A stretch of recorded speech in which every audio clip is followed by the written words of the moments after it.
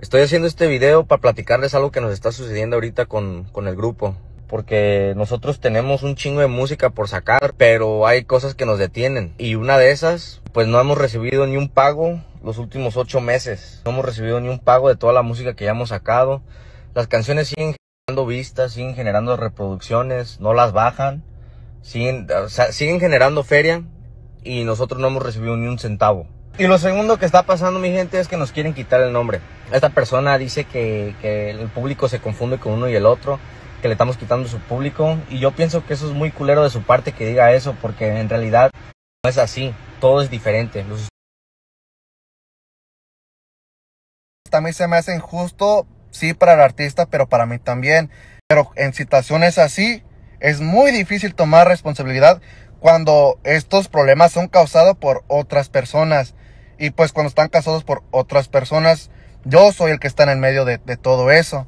Y se me hace injusto para la para mí, pues para todos. Nivel codiciado, nivel codiciado. Now, at least we know why they haven't dropped an album in like a year. They haven't gotten paid in eight months. Now, if I was them, that's understandable. If they haven't got paid in eight months, I wouldn't be dropping music either. Even if the fans were asking so much for it, even if I was at the top of my peak and I wasn't getting paid for the music I was doing, I don't care. I'm not dropping music. Because come on, man. That's your craft. That's the stuff you're working on. Obviously, you're in love with the music and you do it for the passion of music. But if you're not even getting paid for it, come on, man.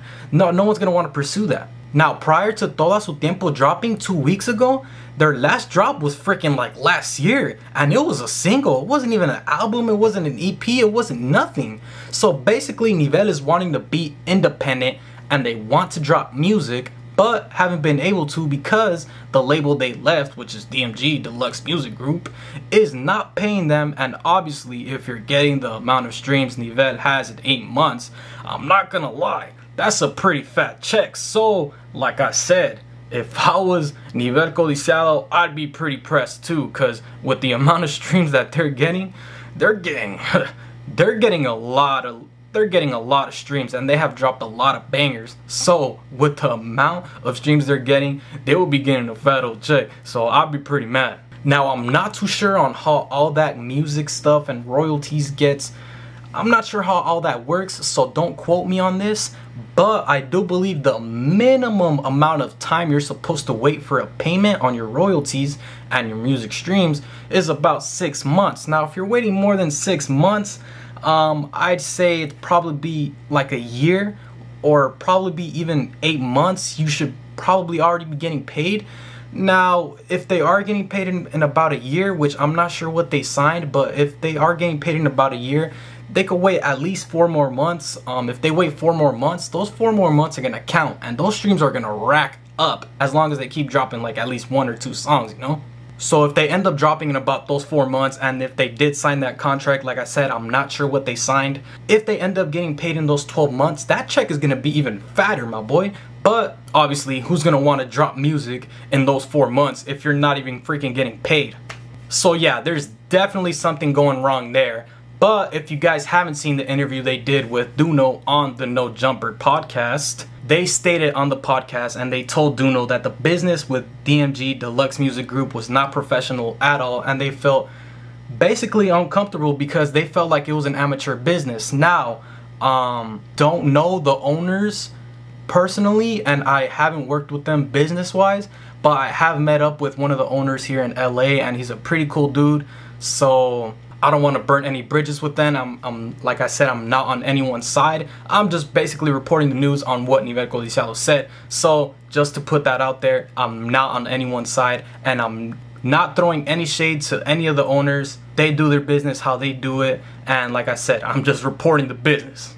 But not only did DMG lose Nivel Codiciado, they also lost Jose Mejia as well which is another OG to DMG. Now, if you're not too familiar with Deluxe Music Group, Jose Mejia and Nivel Codiciado are literally the OGs of DMG and literally brought DMG to what to what they are now. In DMG's, they would probably in DMG's eyes, they would probably say, "Nah, they blew up because of us." But realistically, like not being biased, but Nivel Codiciado and Jose Mejia literally brought up DMG to what they are now. But also, like I was saying, Jose Mejia also left DMG, so I wouldn't be surprised if the same situation is going on with Jose Mejia. Because honestly, his situation is probably even worse. He hasn't dropped not even a single in probably two years, and that's pretty fucked up. Not only has he even dropped a single, but he hasn't even been active on social media. Now I'm gonna keep it real with y'all. I'll be DMing, I DM him all the time, and he doesn't even respond to any of them. He he replies to my stories, but he doesn't respond when I text him.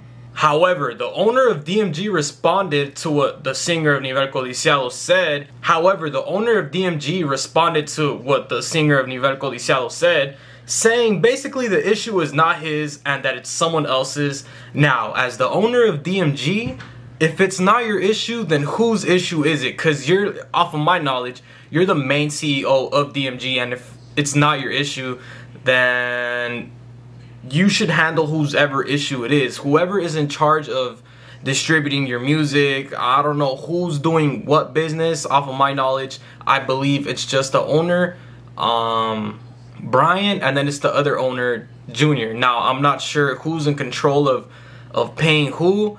Now, if they have employees handling the royalties, then as the CEO of DMG, Brian is supposed to hit up the person, whoever's in charge of paying. They should hit them up as the owner of DMG and say, hey man, do your job, pay up Nivel Codiciado. But yeah, like I said, I'm not on anyone's side. Hopefully Nivel Codiciado gets paid so they could get that whole situation handled and so they could finally drop music. Now, DMG isn't the only people that Nivel Codiciado is having issues with.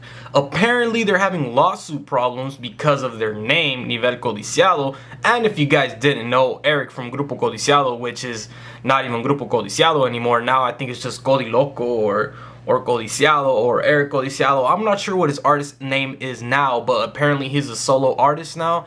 And because he's falling off and because he hasn't had any hits um, in about two years, he is looking for drama and is looking for problems. About a month ago, he was saying on his story, basically bashing Nivel Codiciado for their name and saying they're not original. Now, in Nivel Codiciado's defense, he said that the style of Nivel Codiciado is completely different compared to Grupo Codiciado, which it most definitely is completely different. First of all, Nivel Codiciado started off with a little, obviously as a group starts, you want to start off with the traditional Ariel Camacho, but then when all the Guajoloches, when all the Guajoloches stuff started popping up, that's what they got, that's what they got popping for, that's what they started being known for, is the Guajoloche style. Now that all that Guajoloche stuff is dying, they are moving on to I don't know charchetas, tololoche. That's what's really popping right now. So I'm assuming that's what they're gonna start doing because they dropped todo su tiempo and that's how it is. But Jesus from Nivel Codiciado, the singer, does have a point. Um,